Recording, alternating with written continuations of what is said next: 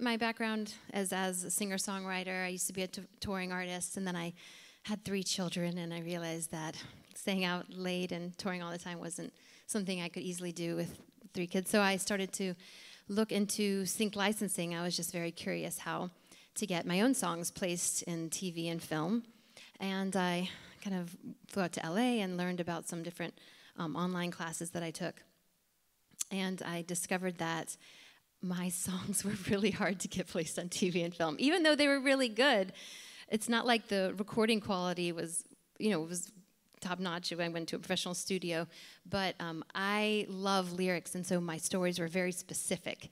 I mean, you know, and it just when I started to really listen to what was being placed in TV and film and ads, I realized that, um, you know, writing very specific lyrics would not was not going to be helpful. So I just started to do that. I started to listen more, and, uh, and then I took a step back and I started creating all new songs. But I brought my own authenticity still to that, but I sort of crafted them in a different way.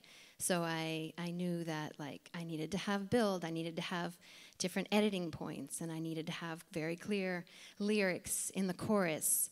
And there's just all these things that I learned that have that have helped. Um, and then I also started just co-writing a lot, which is something I never did before. I was just always the singer, writing my own, you know, folk rock songs that told my stories or stories I wanted to share. But once I started to um, to co-write, it actually opened up. Oh, oh, thank you. Okay, it opened up a lot of doors for me in a lot of different ways. Um, in some ways, it was because my voice wasn't always the right voice. And I had to take a step back and, and really think about that and realize that.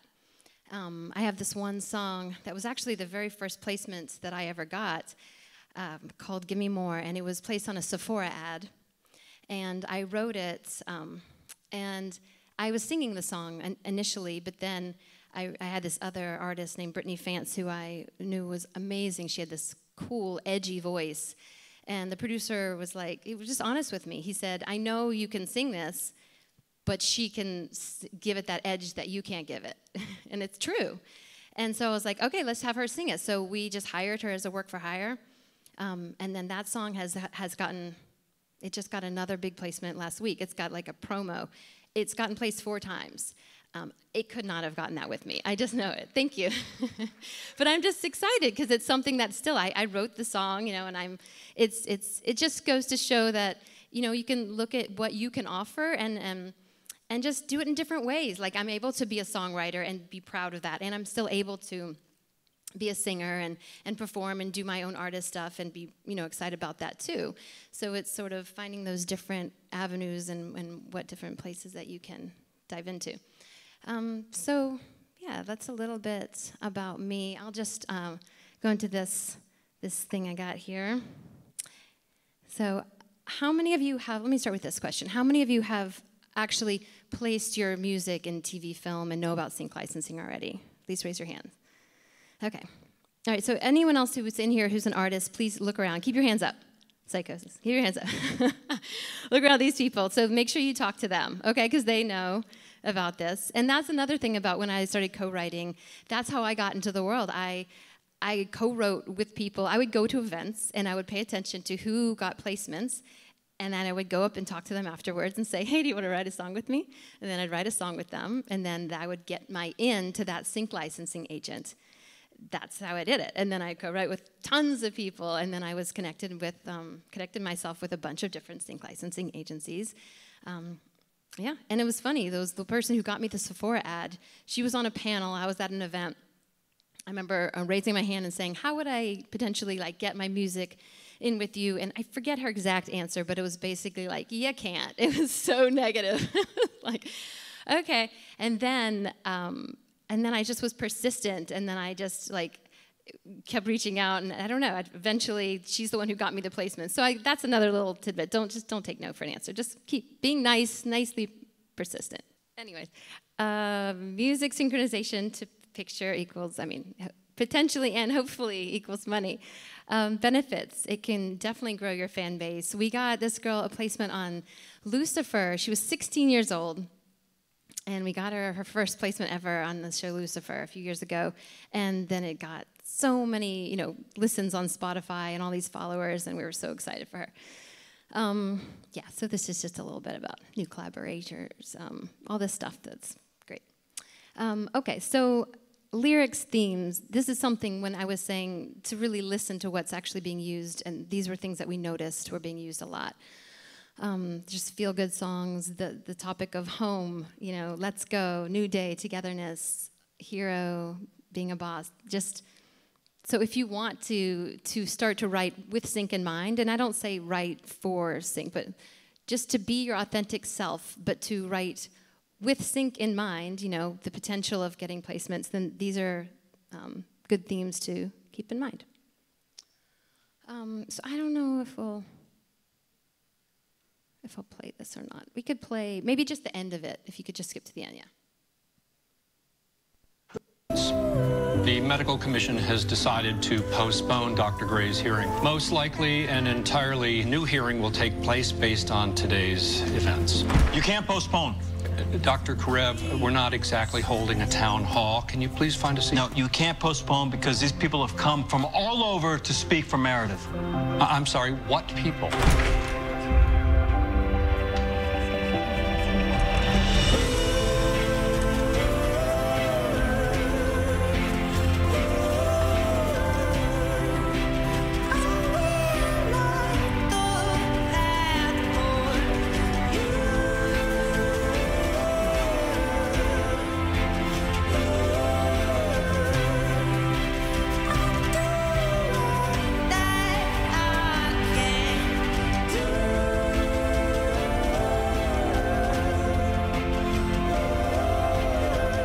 People on the witness list? No idea. You're gonna tell them all they need to go home?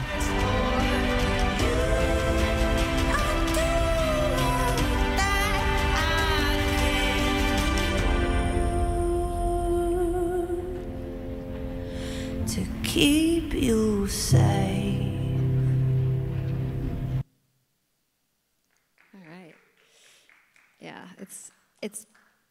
Powerful, and the reason it's a powerful scene is because of the music, right? Um, and so this is Lindsey Ray's song that was selected for that scene in Grey's Anatomy, and we just want to point out that you probably noticed. Let's see, check out the dynamics, production elements, lyrics, and pay attention to what the editor used for for the. Well, I don't know why we wrote ad, but anyways, she was also used in ads. But for that particular scene, um, it, it really builds, right? Like she's got this intro that's really quiet, and then she's got that end tag that's very up close and quiet, but then it builds a lot. And that's so important. And so when we receive submissions, that's exactly what we look for. We look for will it go somewhere? And if it never goes anywhere, it's really hard for us to pitch a song. So um, I don't know. Uh, you can play a little bit of it, yeah. Is just the original that they edited from. If you ever lose your way and everything is out of place, And just skip to the end.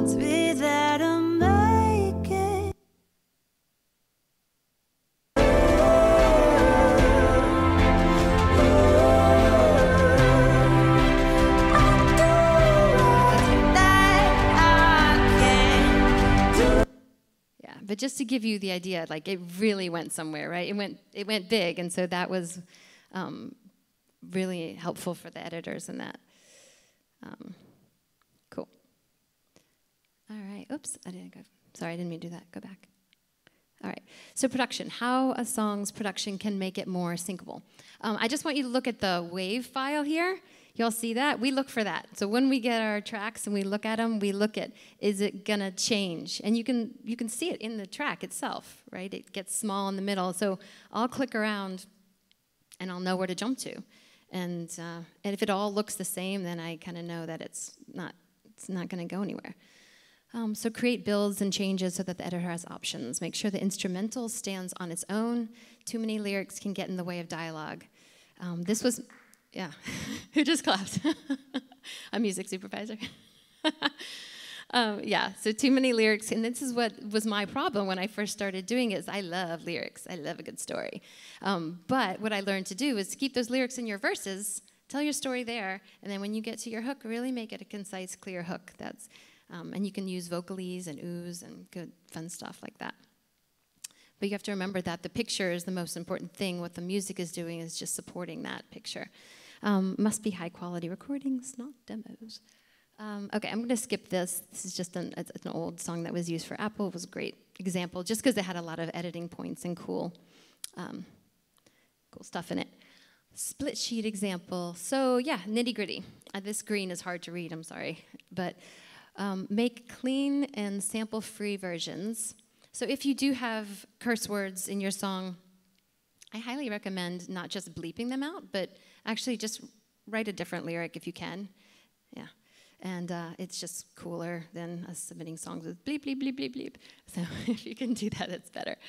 Uh, okay, and then sam uh, sample free, yeah, we know samples that we can't clear.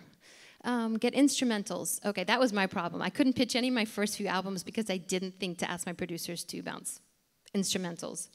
Um, so make sure you have those and have them mastered at the same level as your main track.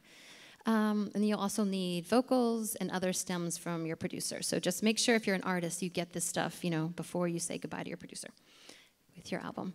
Uh, register with a performing rights organization. Raise your hand if you're an artist and you're you are registered. Okay, great. So yeah, so if you're not, then maybe talk to one of them and you can learn more about it. But it's just there's BMI and ASCAP are the two of the main ones in the United States. Um, split sheet. Okay, so when we have um, work with somebody, we ask them, "Can you? Can this be one stop? Can you be the one person that we contact and can clear off on this song?" And so we ask that they have a split sheet signed with their other co-writers or producers or anyone else who is working with them, who wrote that song with them, or that they had work for hire contracts signed so that it's all in place and that we know that we can just contact them and be like, hey, we got you this placement. So, and um, yeah, oh, put your contact information in the metadata. So there's metadata embedded in every song, and you can put your contact information there, and that's very important. That way, like if you send us a song or someone else a song, um, we can contact you if we need to. Say it was a few years ago, and we look back in our emails, we'll find it and be like, oh, hey, we're going to place your song. Um, okay. So this is just um, when you're going to send your songs to people.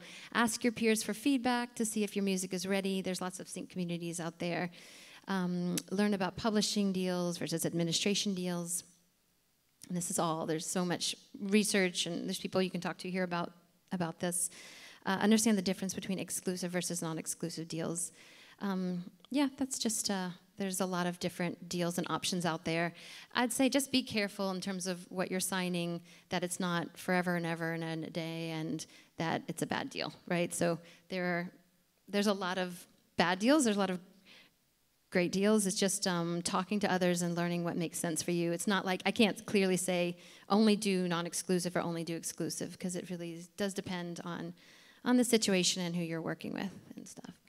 Um, okay, and then music supervisors um, research their work, current and previous. Go to conferences. Um, it, the fact that you're here, that you're showing up here, is really a big deal. I mean, when you when we meet people in person, it's like I'm gonna if, if anybody who's here today wants to send us music, you can get my email from my business card on our table out in the hall, and you can send us a link um, to check out. Just make sure it's not an attachment. Please do not send us an MP3, or PayPay will blacklist you forever. So, yes, only send streamable links. Um, okay. Uh, there's conferences. We put together a conference every year in Chicago. It's going to be June, probably June 7th. So just follow us on Instagram and other places, and then stay in the loop for that. It's called Whup It Up. But there's other great ones to go to.